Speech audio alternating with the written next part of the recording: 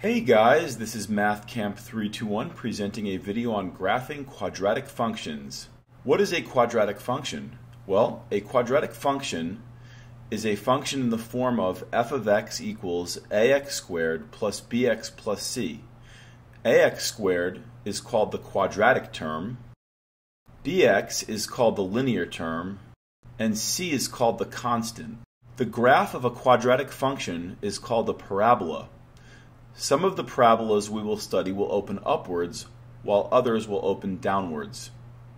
For parabolas that open upward, the lowest point, or minimum, is called the vertex. For parabolas that open downward, the highest point, or maximum, is also known as the vertex. Parabolas have an axis of symmetry which runs through the vertex and splits the parabola in half. Right now I'm going to give you an illustration to the top right of a parabola that opens upward. Maybe some of you have never seen a parabola before, so I'm going to show you what it is.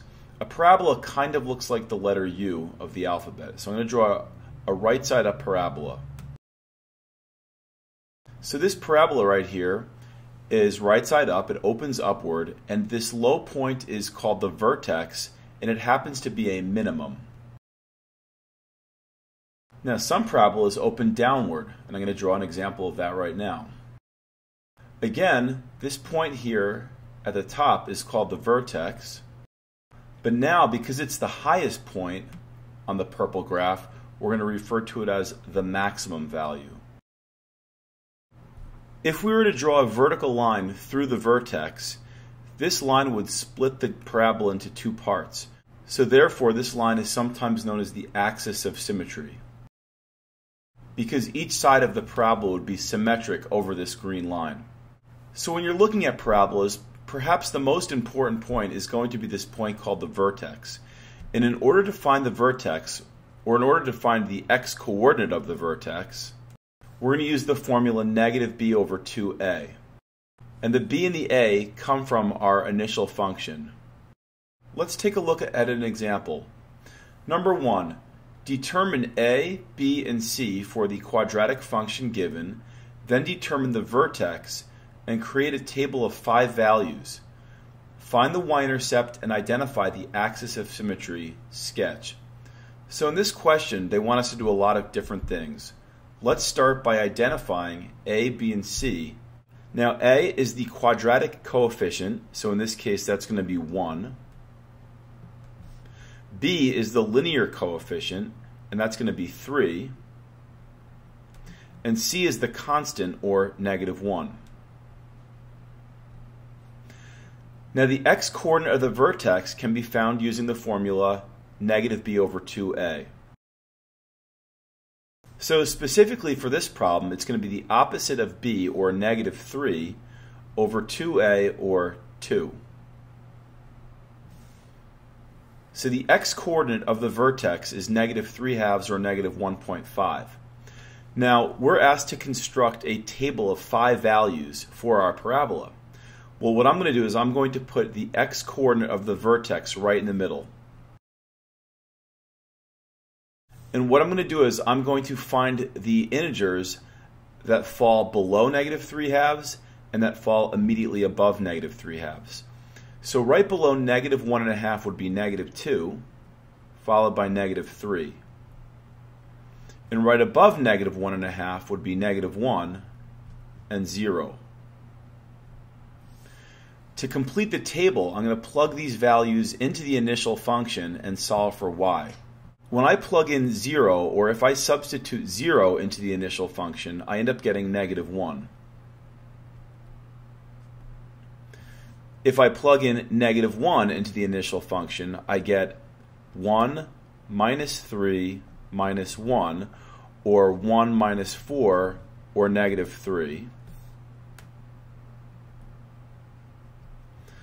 I'll save the fraction for last. If I plug in negative 2, I get negative 2 squared, or 4, minus 6, minus 1, or 4 minus 7, which is also negative 3. And then if I plug in negative 3, I'm going to have 9 minus 9 minus 1, or 0 minus 1, or negative 1. So now I've got to plug in this fraction and see what happens. Okay, negative 3 halves squared is 9 fourths. I'm just going to go up here where I have a little bit of space to work with. Uh, and then I'm going to get negative 9 halves, and then minus 1, which I'll call negative 1 over 1. Now, a common denominator for all of these fractions would be 4. So I'm going to leave the 9 alone. I'm going to make this minus 18, and then I'm going to make this minus 4. So in the end, this is going to be 9 minus 22, or negative 13 fourths.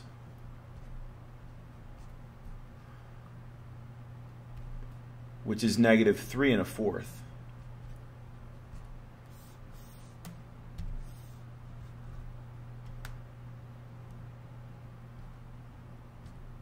So now I have five key points that I can graph to hopefully accurately sketch this parabola. And the point in the middle is the vertex, the all-important vertex. So now I'm going to set up my scale, and my x's range from negative 3 to 0.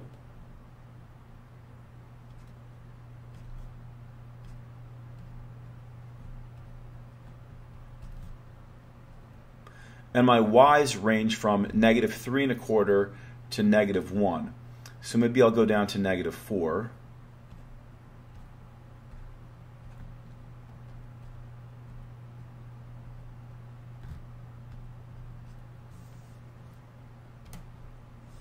Okay, let's plot these points. We'll start with 0, negative 1. Then we'll go to negative 1, negative 3. Then we'll go to negative 1.5, negative 3 and a quarter. Then negative 2, negative 3. And then negative 3, negative 1. And now, to the best of our ability, we'll try to draw this parabola. I'm going to start by putting my pen at the vertex. And I'll scoop up from the right, and then I'll repeat scooping up to the left.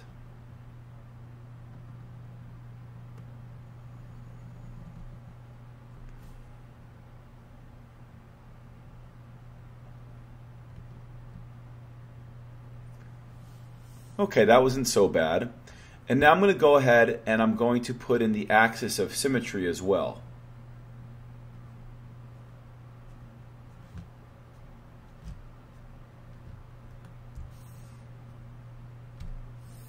Okay, the axis of symmetry is the line that splits the uh, parabola in half. So I'm going to abbreviate that AOS, axis of symmetry, and the equation of that line is going to be x equals negative 3 halves.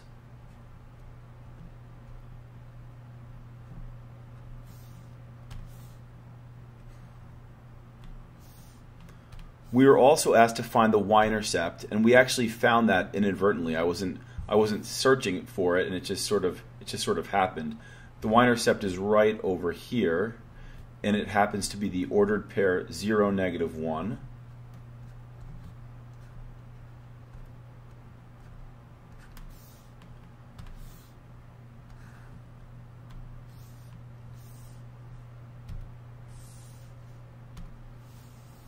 And I think I'm going to label the vertex because that's the, probably the most important point on any parabola. So the vertex is negative 3 halves, and then negative 3 and a quarter.